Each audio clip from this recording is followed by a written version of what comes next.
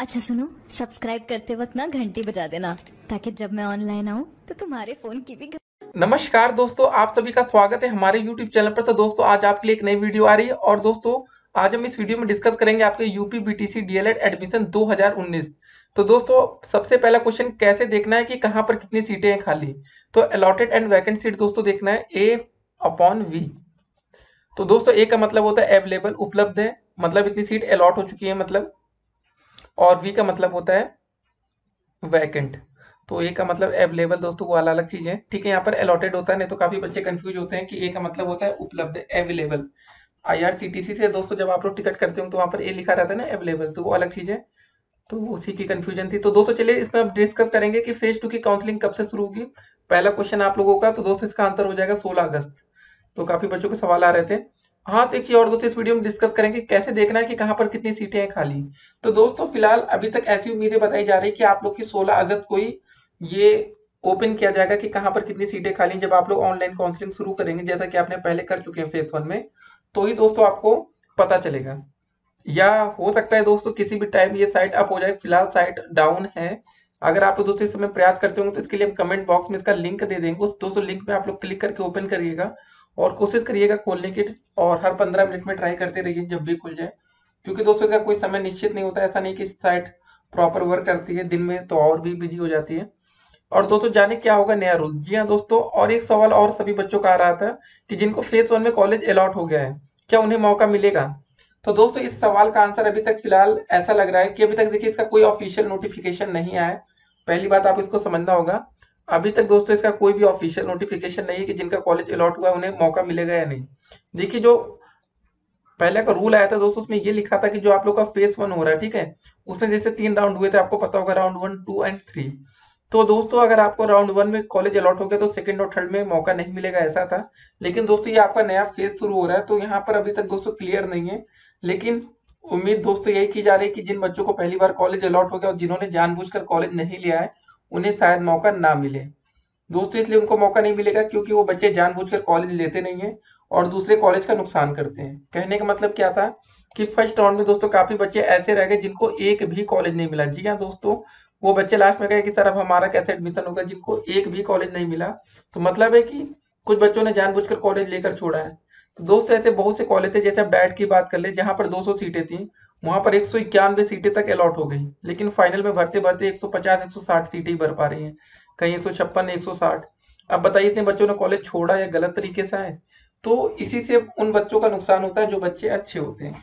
तो उम्मीद दोस्तों यही की जा रही है कि जिनको फ़ेज़ वन में कॉलेज अलॉट हो चुका था, उन्हें मौका नहीं मिलेगा। मतलब वो बच्चे डायरेक्ट एडमिशन तो ले पाएँगे। जिस भी कॉलेज में अगर आपका मन हो, जाइए डायरेक्ट एडमिशन आप ले सकते हैं। तो दोस्तों, इसका फ़िलहाल हम प्रॉपर वीडियो अगली जल्दी अपलोड करेंगे और अभी तक फ़िलहाल ऐसी कोई खबर आई नहीं है। लेकिन उम्मीद दोस्तों यही है कि उनको मौका शायद ना मिले। अब दोस्तों आज की खबर क्या है अखबार में उसको भी देखते हैं कि डीएलएड 2019 20 द्वितीय चरण का प्रवेश 16 से होगा। ये दोस्तों आज आपके अखबारों की खबर।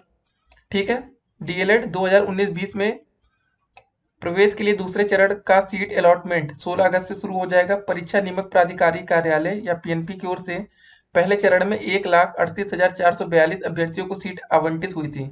इनमें तकरीबन इक्यासी हज़ार अभ्यर्थियों ने प्रवेश लिया। दोस्तों, आप ये सोचिए कि एक लाख अड़तीस हज़ार बच्चों ने भाई, कहीं ना कहीं सभी बच्चों को कॉलेज अलॉट हो गया और सभी बच्चों ने कितने बच्चों ने वहाँ सीटें छोड़ दी? देखिए, लगभग यहाँ पर चालीस हज़ार और यहाँ पर बीस हज़ार। तो लगभग दोस्तों पचास हज़ार से अधिक बच्चों ने कॉलेज लिया ही नहीं। मतलब उनको कॉलेज अलॉट हो गया और जानबूझकर उन्होंने कॉलेज में एडमिशन या दाखिला नहीं लिया।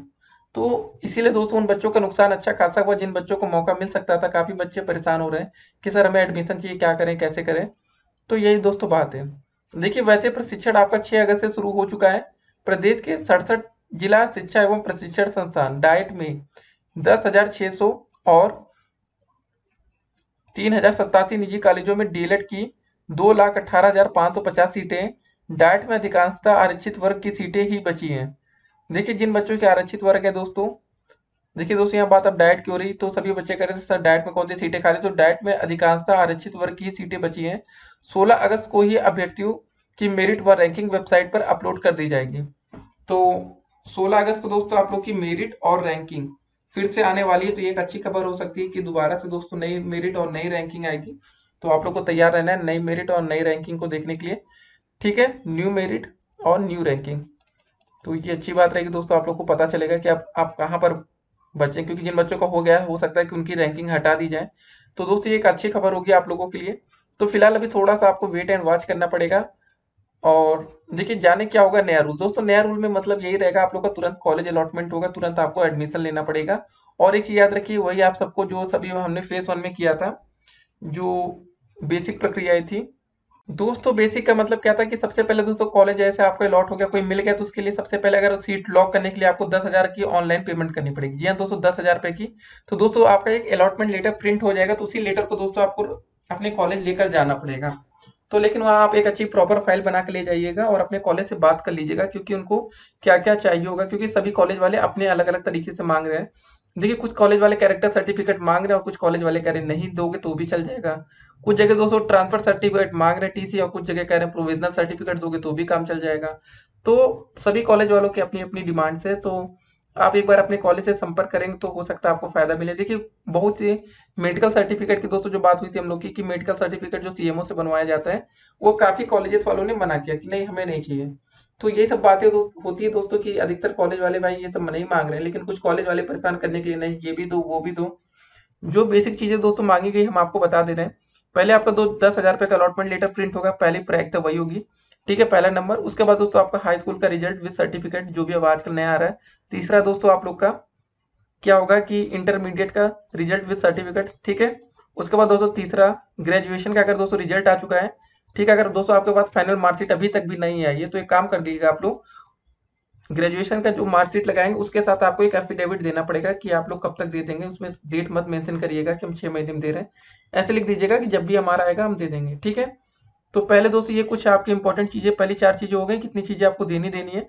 उसके बाद दोस्तों अगर आपने आरक्षित वर्ग से लिया ओबीसी एस सी से आते हैं ओबीसी एससी या एसटी से आते हैं तो आपको दोस्तों अपना आरक्षित वर्ग देना होगा कास्ट सर्टिफिकेट जिसको बोलते हैं।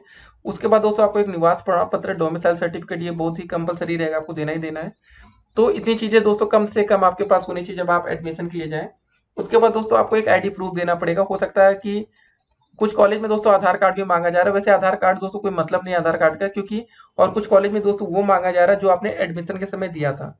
जैसे कुछ बच्चों ने पैन कार्ड दिया होगा, राशन कार्ड जो भी आपने दे रखा है वो आपको देना पड़ेगा। और उसके बाद दोस्तों एक इंपॉर्टेंट चीज़ आता है आपका शपथ प्रमाण पत्र, शपथ पत्र। ठीक है, शपथ पत्र दोस्तों आप एक बनवा लेंगे अपने में। ये बोलेंगे कि हम कॉलेज नहीं आते हैं या हम कुछ गलती में पकड़े जाते हैं तो इसकी ज़िम्मेदारी हमारी होगी और हमारा आवेदन निरस्त किया जाए। कुछ ऐसा शपथ आपको दोस्तों देना पड़ेगा वहाँ पर कॉलेज में।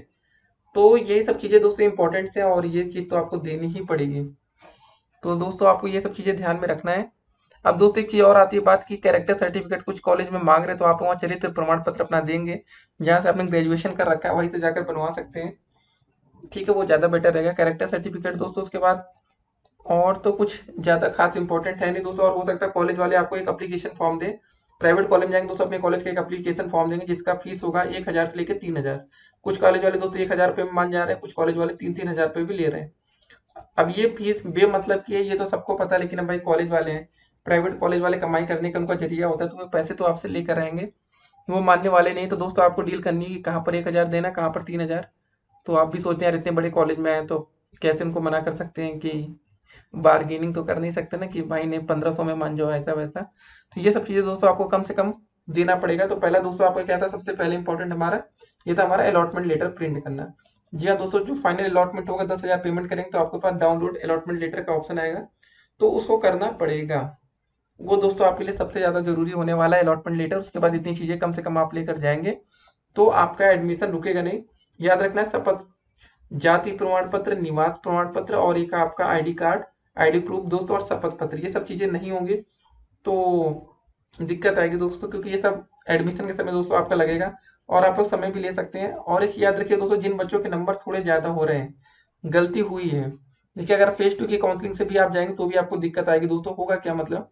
जैसे कि आपने इंटरमीडिएट में जैसे 500 नंबर का पेपर होता है, दोस्तों, अगर उसमें से आपने 400 नंबर पा रखे हैं, और गलती से, दोस्तों, आपने 410 नंबर डाल दिया, तब आपका एडमिशन ऑनलाइन प्रोसेस में नहीं होगा। अगर, दोस्तों, इसी जगह आपने 410 की जगह गलती से आपने 390 नंबर डाल दिया तो मतलब आपकी मेरिट कम है, और आपको कॉलेज तब भी अलाउट हो गया, तब आपको, दोस्तों, वो कॉलेज मिल जाएगा। जिस भी कॉलेज मिलेंगे तो करेक्शन होकर सही हो जाएगा, लेकिन हाँ ज़्यादा नंबर लेकर एडमिशन लेने में कॉलेज वाले फ़िलहाल मना कर रहे हैं। हाँ एक प्रोसेस है, तब भी आपको एडमिशन मिलेगा, ऐसी दिक्कत नहीं कि आपको एडमिशन ही नहीं मिलेगा। उसके बाद दोस्तों आपको डायरेक्ट एडमिशन का प्रोसेस होगा, उसमें आप लोग दोस्तों एडमिशन पा जाएँगे। ठीक है प्राइवेट वाले भाई जुगाड़ू इंसान होते हैं, आपको एडमिशन वो दिला देंगे तो ये सब तरीका है। तो फ़िलहाल ये सब चीज़ें दोस्तों आप लोग लेकर जाएँगे एडमिशन आपका हो जाएगा। और दोस्तों नया रूल में दोस्तों ये सब चीज़ सीखनी है कि एक्स्ट्रा क्लासेस कैसे अटेंड करना है। एक्स्ट्रा क्लास तो फ़िलहाल हमको नहीं लगता कि किसी भी प्राइवेट कॉलेज में होने वाली है। और सरकारी कॉलेज का दोस्तों हम भरोसा नहीं ले सकते, वहाँ कुछ भी करा सकते हैं, ऐसे बच्चों को रोज बुलाते हैं कॉलेज में। पढ़ाई हो या ना हो, बच्चों को रोज जाना पड़ेगा। फ़र्स्ट सेमेस्टर में दोस्तों आपको थोड़ी दिक्कत का सामना करना पड़ेगा। जो आपका पहला सेमेस्टर होता है दोस्तों, उसमें थोड़ा क्लासेस ज़्यादा चलती हैं।